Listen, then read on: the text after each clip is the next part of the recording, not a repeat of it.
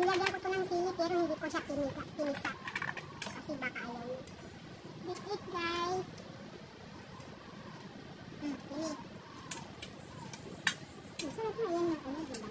Yung sili na sinigang masarap. Sinigang mo. Magkamay ako bahala kayo. Hmm. Baka ayaw nila kayo hindi ko na. Sarap. Sabi mo, na.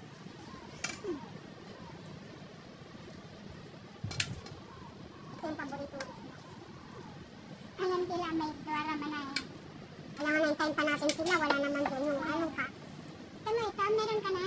Meron na. Meron na. Ate, ba? Mamaya na to. Ano na? At saka pag, alam mo, may pagkain sila doon. Oh, sa simbahan. Libre doon. Kaya ano. Hmm. Ah, may ano sila doon? Hmm, doon din ate Wing. Sina Mary. Ah, doon sila. Doon sila. Hmm. May pagkain doon. Hmm. Saan yung church? Hmm, may pagkain. Hmm. Nag-invite nga yun? Sina Craig? Hindi, dati, diba? Ah.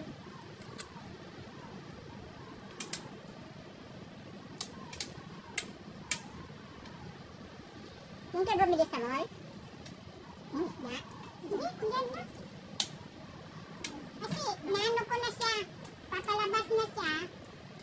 Kita ko na siya sa ano, papunta dito. Mm-hmm. Kaya hindi kami pumunta doon. Ang mainit kasi kanina. Nakasel. Hindi na naman. Yan sa NTUC. Mm-hmm.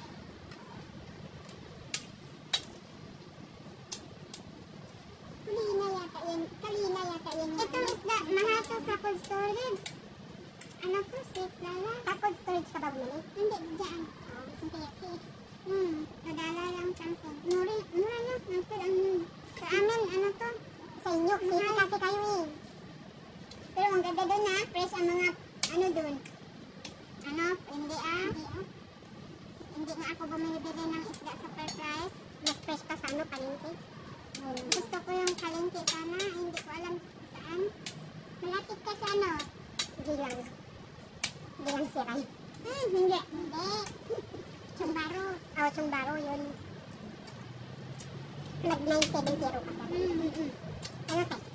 Hmm? 961. Saan ba siya? Somerset. River Gate Apex. River Valley. River Valley. Sa ano, ak- yung MRT namin yung bago na binuksan na brown, green, napper, Great World. Ah, Great World. Hmm. Pagbaba, nandun na ang MRT. Asa may gateway ka? Isang ano lang sa outside. Kung dito, ang sila daan sa kabila, sa, sa main gate talaga ng kondo namin, sa namin. Ano, ilang, ilang stop naman lang yan yung nagtumbaro ka? Market? Oo. 16. Tumbaro ko nung ka. 16. 16. 16. 16 papunta doon sa may... Hindi mo lang binatong. Camping! Anong binatong? Yung mais? Yung mais na ginanon. Yung, anong tawag doon sa inyo? Hindi ko alam sa Bisaya. Nilaga. Nilaga? Nilaga. Ah, yung gi- ginaling dati? Yun ba? Hindi. Hindi. Nilaga. Yung tinanggal-tanggal na ba sa ano? Sa ano? tap- Tapos niluto. Mm, tapos lagyan ng ano sabi nila. Fresh na kinayot na nyok. Nilaga nga. Doon ka sa Chumbaro. Mas maaga ka doon ka sakay ka ng 16. Right, right. Oo. Okay lang mas mahura doon ang mga isda. Right. Mas mura doon eh. Hmm. Mura market yun eh. Mga ano, mga seafoods doon.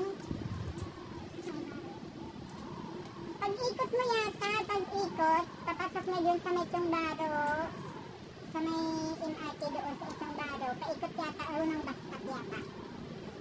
Oo. Kung hindi mo pa sigurado, it, anin mo lang si uncle, ang driver, na kami sabihin mo lang, uncle, can you drop me in the Chumbaro Market stop?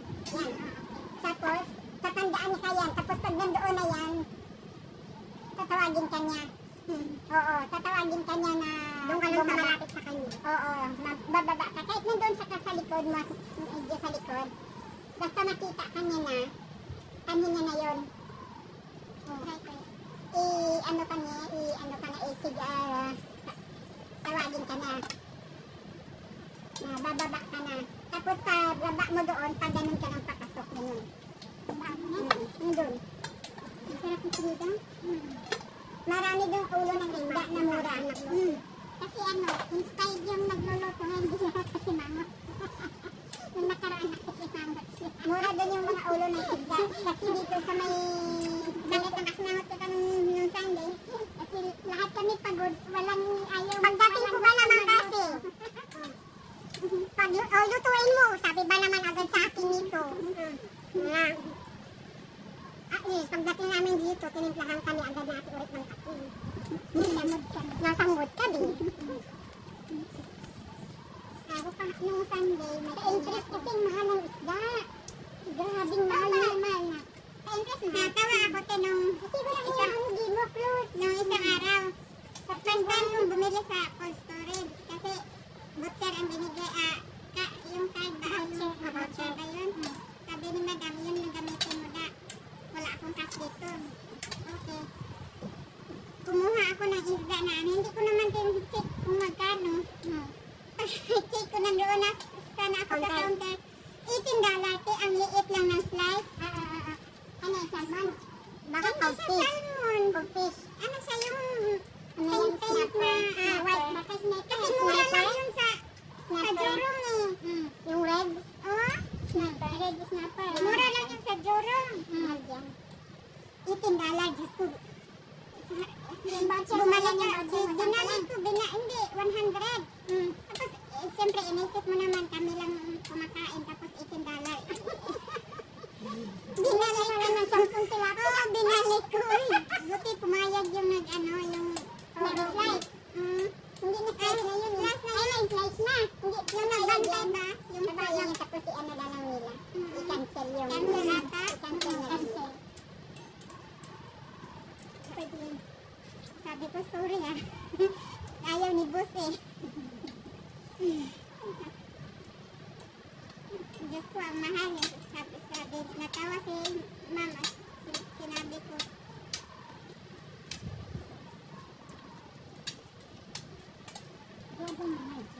Grabe cold storage. Kasi ano te, pa, nakita ko doon parang kariner lahat. Sa inyo? Mm Yung mga pagkain ba nila, pang, pang titi lahat. Libre bali kayo eh. Hmm. Tapos sa kondo namin, ang lagi kong nakikita mga kariner. Kami lang ata sa ini. Iwan ko. Ba't kayo lipat dyan? Dyan ang napili ni ano eh. Malapit sa Saka, kasi yung unang bahay ni, ni may bahay yung mama ni madam. Mm. Tapos binigay, mm, binigay niya sa, sa madam ko. Mm. Diyan sa, tapat lang din sa Martin Place, tapat lang din sa ano yan. Mm Bininta ni madam. Tapos nakahanap sila ng bakante dyan. Tapos binili niya.